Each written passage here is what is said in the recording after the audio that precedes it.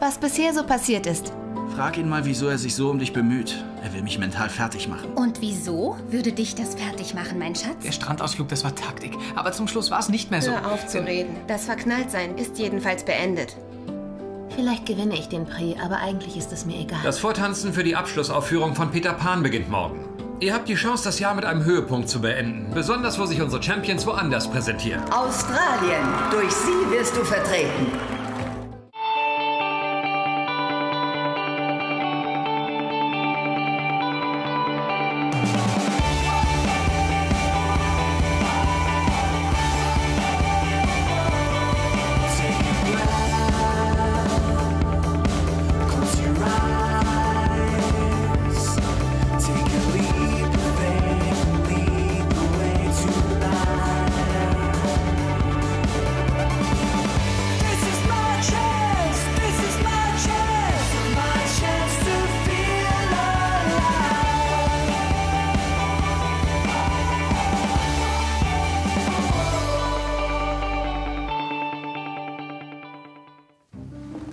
Unheimlich. Wenn man jemanden kennenlernt, entscheiden beide in weniger als 10 Sekunden, was sie voneinander halten. Er glaubt, du lässt ihn links liegen seit dem Wettbewerb. Und das stimmt. Um die Sache zu erleichtern, Ach komm, Sie, Zack, erlösen Sie uns doch. benutzt unser Gehirn die stärksten vorhandenen Signale, um Menschen einzuordnen. Also in der Abschlussaufführung von Peter Pan geht die Titelrolle an Christian Reed. Da gibt es den düsteren, grüblerischen Typ, der mit der Welt im Argen liegt, der immer sehr beliebt ist bei leicht zu beeindruckenden Mädchen. Tinkerbell, keine andere als Katrina Karamakov. Die witzige, glänzende Verkörperung der allerbesten Freundin, John Darling, Sir Benjamin Tickle. den Klassenclown mit der Begabung, immer zur falschen Zeit das Falsche zu sagen. Sind Sie sicher, dass ich nicht eher Peter bin? Und noch zu guter Letzt, Wendy Darling wird getanzt von Abigail Armstrong. Das ist der zielstrebige Geh mir aus dem Weg, sonst mache ich dich fertig Typ. Herzlichen Glückwunsch. Ist man erstmal festgelegt auf einen Typ, gibt es nur zwei Möglichkeiten. Man akzeptiert es oder man wehrt sich. Jetzt hört schon auf. Ihr habt die Chance, das letzte Jahr abzuschließen an irgendeiner der besten Ballettschulen der Welt. Es ist nur so. Wir waren ihre schlechtesten Schüler. Diese Ironie ist mir nicht entgangen, Samuel. Nennt mir die Wahl der Schule bis Ende der Woche. Miss Rain, hi. Man hat mich für die Wendy besetzt. Ja, ich hörte, du warst sehr natürlich beim Vortanzen. Bei allem Respekt, aber ich glaube, ich eigne mich nicht für die Rolle. Ich würde sehr gern die Wendy übernehmen. Tara, du und Samuel müsst euch auf den Prix konzentrieren. Abigail, du hast jetzt viel zu tun. Konzentrier dich auf deine Rolle. Und jetzt raus. Ihr alle raus.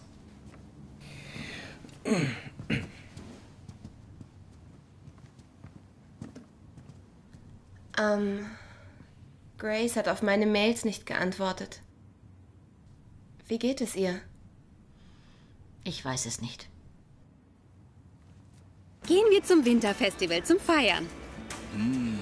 Oder wir sehen uns eine DVD an. Ja, ja, der Vogel hockt im Den Nest. fünften Abend hintereinander? Ich finde, bei Peter und Tink schlägt der Alltag zu. Falls ihr irgendwo auf der Welt für ein Jahr leben könntet, wo würde das sein? Tara, du gehst mir andauernd aus dem Weg, also dieser Song ist jetzt für dich. Oh nein, bitte nicht. Well, you're all up. You got so much to say. You gotta be in your bond to come and kick it away. You wanna push me and shove me, but you know you love me. So, baby, let's call it a day. You know you love me, just speak and I'll obey. Check out my car because I am here to stay. You may kiss me now.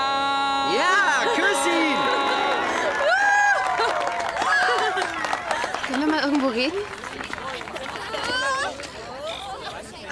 Also, äh, danke für den Song. Ich verzeihe dir. Mich als Provokation bei eurer Konkurrenz einzusetzen, ist jetzt abgehakt.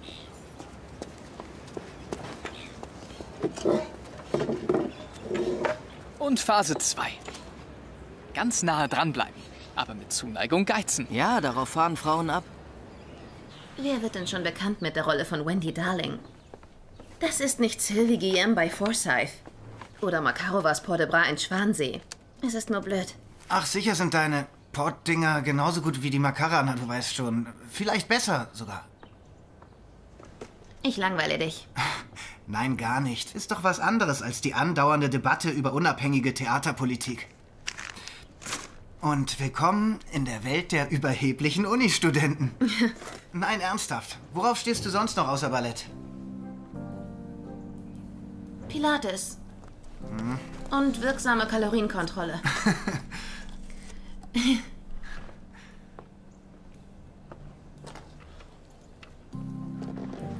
und unsere Ozeane. Ich interessiere mich für Fische, die Konservierung. Ach, du meinst die Fischerhaltung oder meinst du Fische haltbar machen? Beides. Ach, dann geh doch mal mit mir ins Aquarium. Da war ich zuletzt als Kind. Das hört sich ja direkt nach einem Date an. Mag schon sein.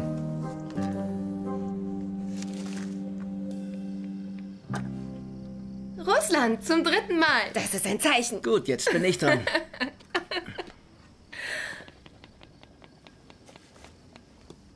Schon wieder? Mmh, sahnig und super lecker. Hey, Sammy, möchtest du? Oh.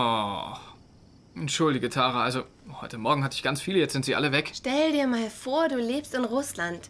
Pelzmützen und Eislaufen. Hey, ähm, ist es heiß hier drin? Denn irgendwie, ja, es ist sehr, sehr heiß. Hey, wir machen einen Horrorfilm-Marathon, falls ihr Lust habt.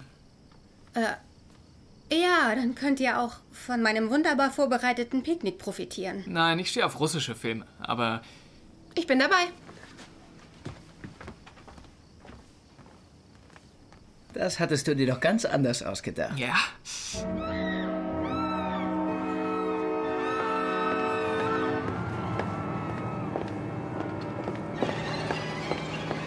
Lieber Man, Gehst du bitte zur wie viel Seite? weißt du eigentlich über Fische? Abigail, geh da. beiseite. Bitte geh da weg. In welchem Zusammenhang?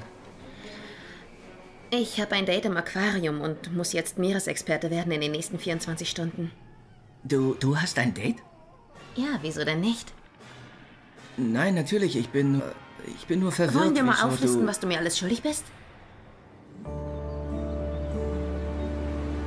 Das Trainingsschwänzen ohne Erlaubnis. Nur für den Probelauf einer Verabredung. Ich bin doch verrückt. Äh, kannst du dich nicht mal setzen und dein schlechtes Ballettgewissen vergessen? Wendy ist eine Hauptrolle. Zwar nur eine kitschige, schwache Rolle, aber eine wichtige. Wenn ich Proben versäume, kürzt Zack meine Soli. Zack hat so viel um die Ohren, ihm fällt das gar nicht auf. Er lässt eine andere für dich einspringen. Bitte. Die Vorbereitung hat noch einen Tag Zeit. Also gut, Tara, aber zeig Abigail dann die Choreo. Ich darf Wendy sein. Ich finde Wendy einfach toll. Ja, das sehe ich. Wo ist Abigail? Sie ist am Kotzen. Im hohen Bogen. Danke dafür. In unserer heutigen Probe konzentrieren wir uns auf die Motivation der Figuren. Also, Ben und Tara, unterhaltet euch mal über die Dynamik der Bruder-Schwester-Beziehung. Ach, man sieht sich wieder. Christian, Cat, ihr markiert mal Peters und Tinkers ersten Pas de deux mit mir. Alles klar?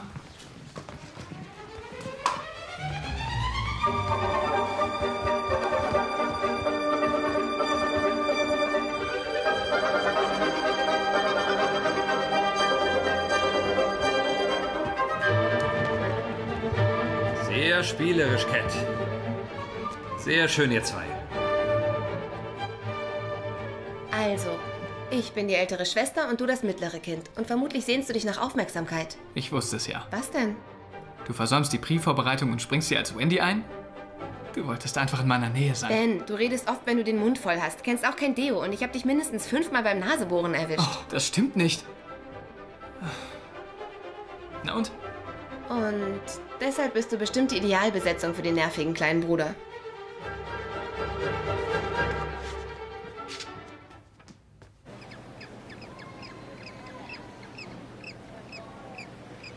Von den 18 Arten der Pinguine ist der Zwergpinguin der kleinste und frisst ungefähr 240 Gramm Fisch täglich.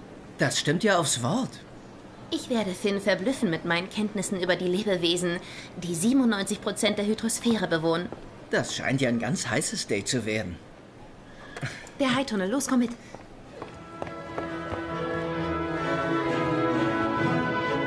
Und jetzt, Cat, Peter lernt ein neues Mädchen kennen und hält das für selbstverständlich. Wie geht es dir dabei?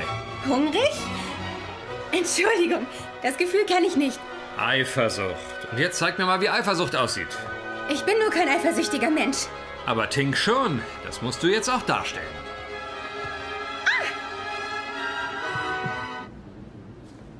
Manche Haie können bis zu 30.000 Zähne im Leben verlieren. Manche Haie können bis zu 30.000 Zähne im Leben verlieren. Und jetzt Manche greife ich Haie- mal ein. Nicht. Wenn du mir nicht helfen willst, wieso bist du dann hier? Hey, ich habe auch Probleme, über die ich gern reden würde. 30.000 Zähne im Leben verlieren. Liebeskummer so, zum Haie- Beispiel. Wo sie viel mit Menschen in Berührung kommen. Auch wenn ich Schluss gemacht habe. Sie sind als in solchen Ruinen der Mensch unbekannt ist. Und auf welche internationale Schule gehe ich, falls ich den Prix gewinne? Sammy, für mich ist das ganz wichtig. Wieso ist es so wichtig, dass du den beeindruckst? Er müsste schon froh sein, dass er mit dir ausgehen darf. Er benutzt in einem Satz das Wort unaufhörlich. Ganz beiläufig. Unaufhörlich könnte ich auch jederzeit sagen. Er weiß sehr viel. Okay, dann lass uns mal das Date durchspielen.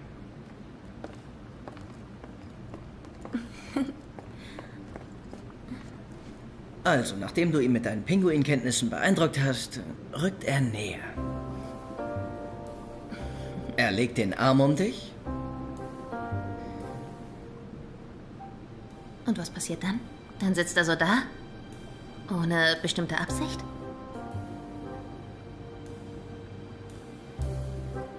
Deshalb gehen Menschen normalerweise ins Aquarium.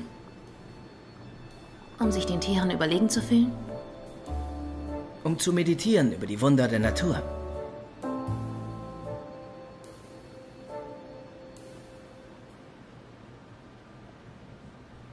Mache ich das gut so?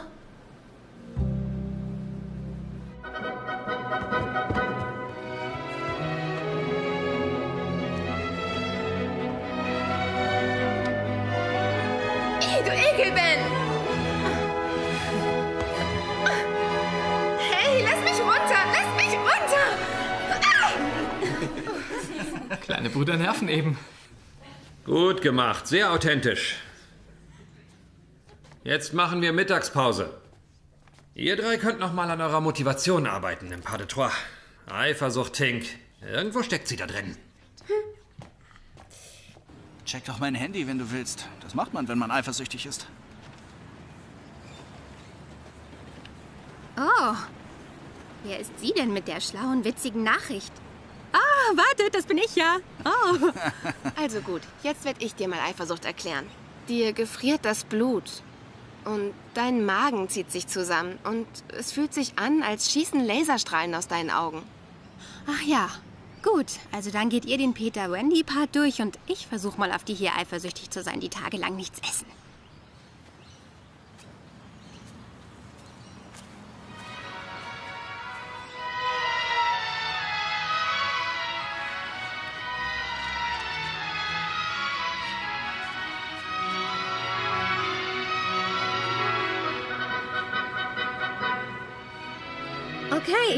Jetzt was. Mein Blut gefriert. Der Magen verkrampft sich. Weiter so, das könnte was nützen.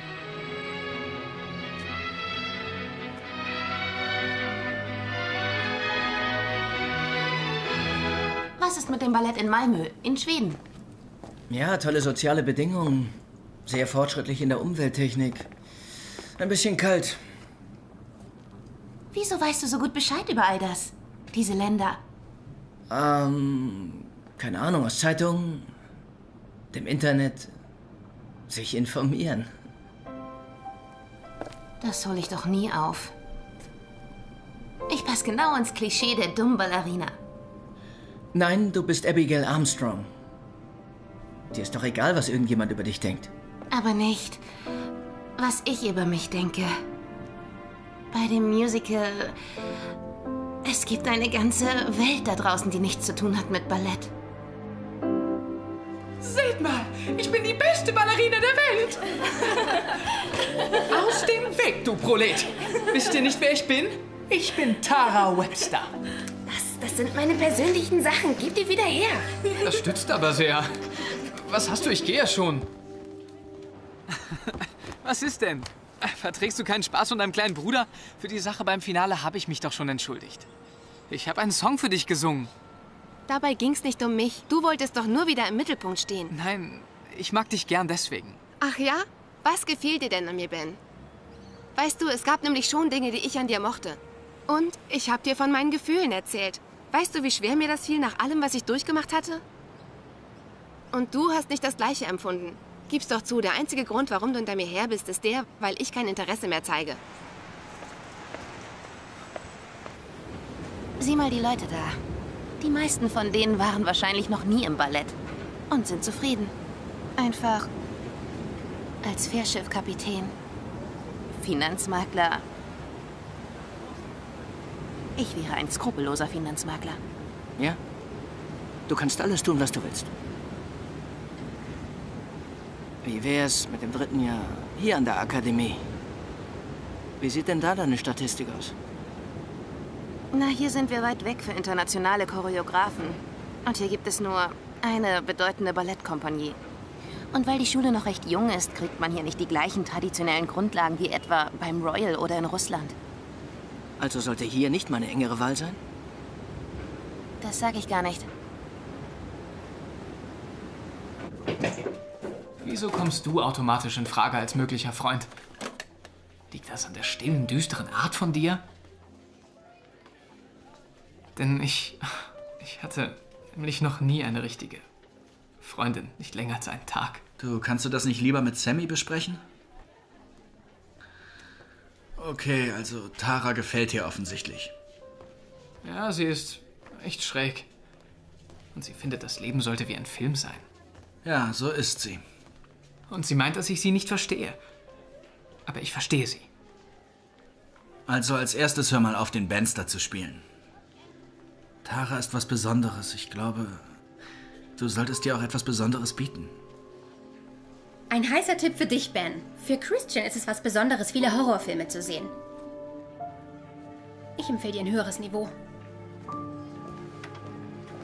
Ich weiß, was ich tun werde.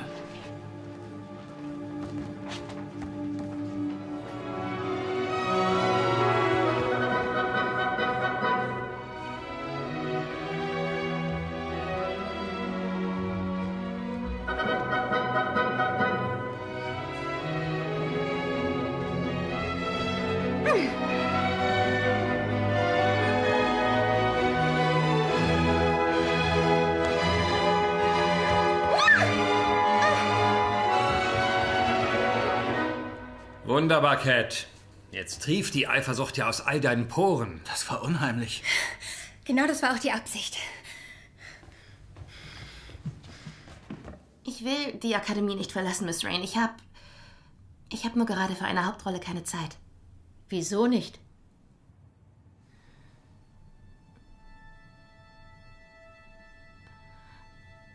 Ich denke, jetzt sollten mal andere Interessen im Vordergrund stehen. Ich habe das Gefühl, Sie bereiten mich auf ein Leben in der Kompanie vor, aber nicht aufs Leben, wenn ich es nicht schaffe. Abigail, gelegentlich können Studenten mit überragender Naturbegabung es sich leisten, weniger als 100 Prozent zu geben. Du gehörst nicht dazu. Entweder gibst du alles fürs Ballett und das täglich, oder du kannst es aufgeben.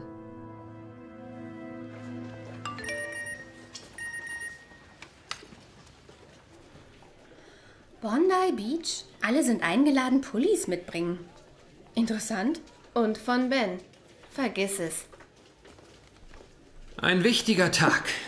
Wir machen noch eine Nachbesprechung für eure Rollen und dann gehen wir ins Wochenende. Und, Christian, was denkst du über Peter? Ähm. Er will nicht erwachsen werden. Tja, das ist sehr aufschlussreich, aber kannst du das auch näher ausführen? Er will alles haben. Naja, er will Tink, weil sie wunderbar ist und sie immer für ihn da ist, wenn er sie braucht. Aber es ist doch eher so, Peter liebt Wendy. Und warum? Na, sie fordert ihn heraus, besser zu sein, als er ist, wissen Sie? Aber davor hat er Angst und deshalb gibt er sie auf. Irgendwie wird er zum Versager.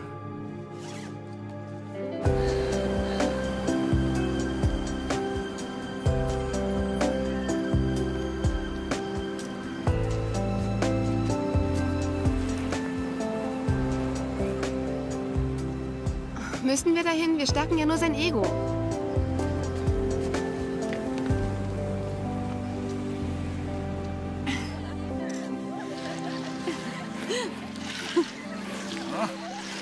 Ja, ich komme schon. Menja. Das heißt auf Russisch verzeih mir. Und glaub mir, ich verstehe dich. Christian, Christian. Aber wenn ich dich in Ruhe lassen soll, dann werde ich... Also, das ist ja jetzt reine Erpressung. Ich wäre gern mit dir zusammen. Dann sei es doch.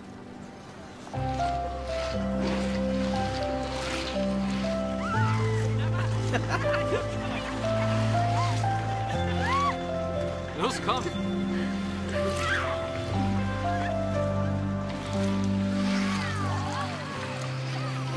Ah, nach all dem Fischwissen, wieso lässt du dann dein Date sausen? Ich denke, ich gehe erst mal eine Weile mit mir selbst aus.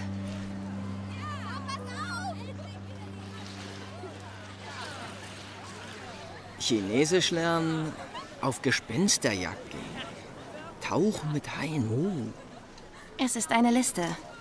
Für das Ende des dritten Jahres, wenn ich dann Zeit habe für andere Interessen. Oh, ein Zufall. Ja, ich habe auch mal eine gemacht vor, ähm, vor dem ersten Jahr. Beim Abhaken kann ich dir helfen. Du gehst doch vermutlich nach Berlin, genießt die Kunst dort und Ah. kommst nie wieder. Ja.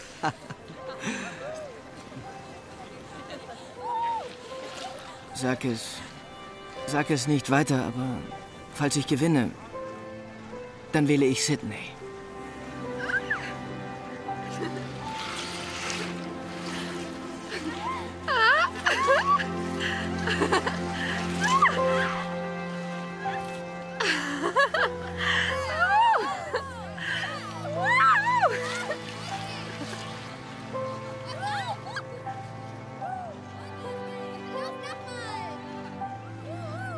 Er schenkt dir eine ganze Eislaufbahn. Das ist doch übertrieben.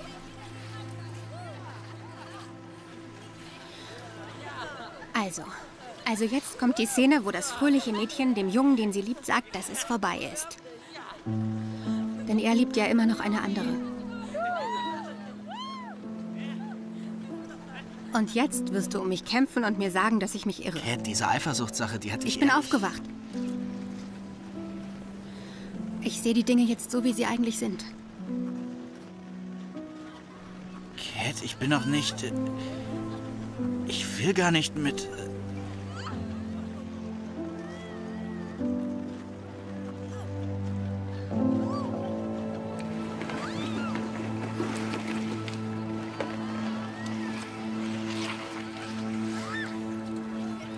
Mag schon sein, dass ich die Leute in den ersten zehn Sekunden eingeordnet habe. Aber je länger ich sie kenne, desto mehr wird mir klar, dass es kein Schema gibt, in das sie reinpassen würden. Und desto mehr können sie mich überraschen.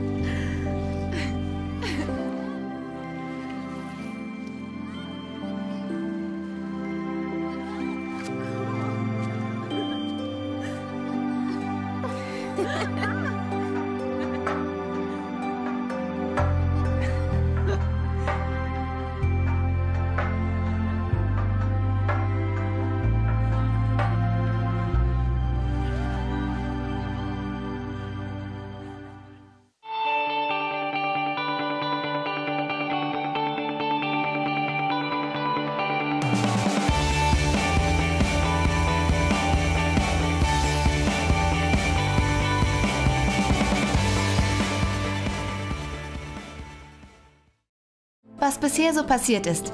Frag ihn mal, wieso er sich so um dich bemüht. Er will mich mental fertig machen. Und wieso würde dich das fertig machen, mein Schatz? Der Strandausflug, das war Taktik. Aber zum Schluss war es nicht mehr so. Hör auf zu reden. Das Verknalltsein ist jedenfalls beendet. Vielleicht gewinne ich den Prix, aber eigentlich ist es mir egal. Das Vortanzen für die Abschlussaufführung von Peter Pan beginnt morgen. Ihr habt die Chance, das Jahr mit einem Höhepunkt zu beenden. Besonders, wo sich unsere Champions woanders präsentieren. Australien, durch sie wirst du vertreten.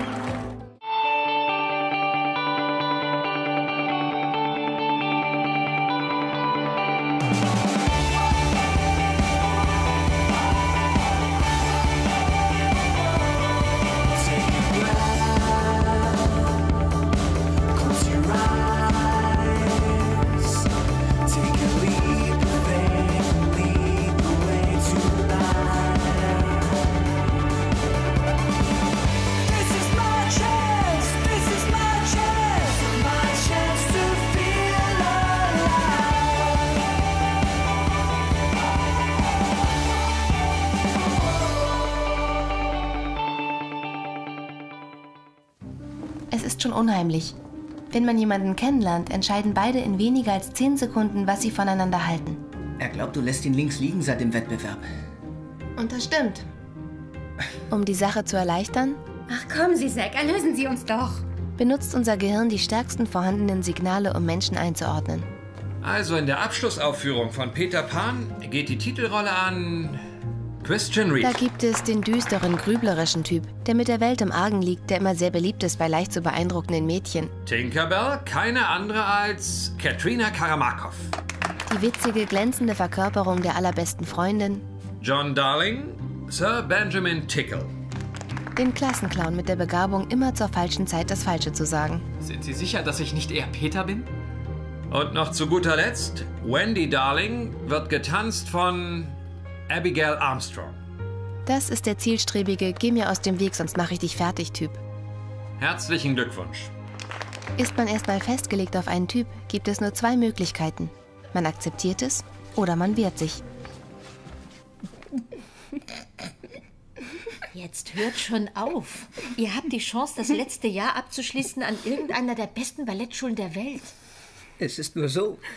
Wir waren ihre schlechtesten Schüler. Diese Ironie ist mir nicht entgangen, Samuel. Nennt mir die Wahl der Schule bis Ende der Woche. Miss Rain, hi. Man hat mich für die Wendy besetzt. Ja, ich hörte, du warst sehr natürlich beim Vortanzen. Bei allem Respekt, aber ich glaube, ich eigne mich nicht für die Rolle. Ich würde sehr gern die Wendy übernehmen. Tara, du und Samuel müsst euch auf den Prix konzentrieren. Abigail, du hast jetzt viel zu tun. Konzentrier dich auf deine Rolle. Und jetzt raus. Ihr alle raus.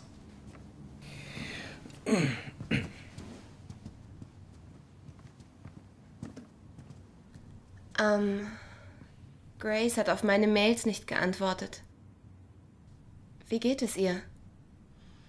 Ich weiß es nicht. Gehen wir zum Winterfestival zum Feiern. Hm. Oder wir sehen uns eine DVD an. Ja, ja, der Vogel hockt im Den Nest. fünften Abend hintereinander? Ich finde, bei Peter und Tink schlägt der Alltag zu. Falls ihr irgendwo auf der Welt für ein Jahr leben könntet, wo würde das sein? Tara, du gehst mir andauernd aus dem Weg, also dieser Song ist jetzt für dich. Oh nein, bitte nicht. Well, you're all wound up. You got so much to say. You gotta be in your bond and come and kick it away. You wanna push me and shove me, but you know you love me. So, baby, let's call it a day. You know you love me, just speak and I'll obey. Check out my car because I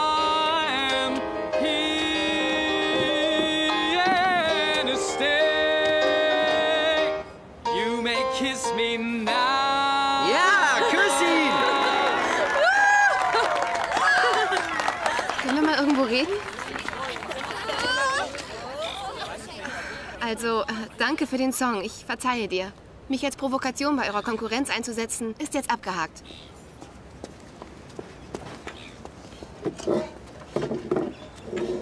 Und Phase 2. Ganz nahe dranbleiben, aber mit Zuneigung geizen. Ja, darauf fahren Frauen ab. Wer wird denn schon bekannt mit der Rolle von Wendy Darling? Das ist nicht Sylvie Guillem bei Forsyth. Oder Makarovas Port de Bras in Schwansee. Es ist nur blöd. Ach, sicher sind deine Portdinger genauso gut wie die Makarana, du weißt schon. Vielleicht besser sogar. Ich langweile dich. Nein, gar nicht. Ist doch was anderes als die andauernde Debatte über unabhängige Theaterpolitik. Und willkommen in der Welt der überheblichen Unistudenten. Nein, ernsthaft. Worauf stehst du sonst noch außer Ballett? Pilates. Hm? Und wirksame Kalorienkontrolle.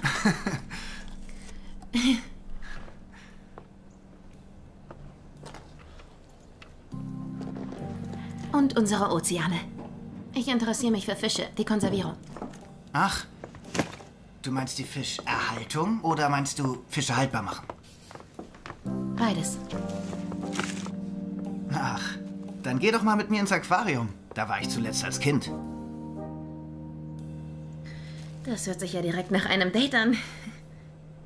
Mag schon sein.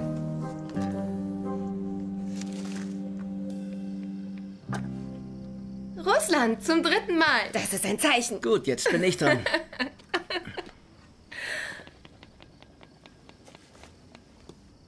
Schon wieder? Mmh, sahnig und super lecker. Hey, Sammy, möchtest du? Oh. Entschuldige, Tara. Also, heute Morgen hatte ich ganz viele, jetzt sind sie alle weg. Stell dir mal vor, du lebst in Russland. Pelzmützen und Eislaufen. Hey, ähm, ist es heiß hier drin? Denn irgendwie, ja, es ist sehr, sehr heiß. Hey, wir machen einen Horrorfilm-Marathon, falls ihr Lust habt. Äh, ja, dann könnt ihr auch von meinem wunderbar vorbereiteten Picknick profitieren. Nein, ich stehe auf russische Filme, aber Ich bin dabei. Das hattest du dir doch ganz anders ausgedacht. ja.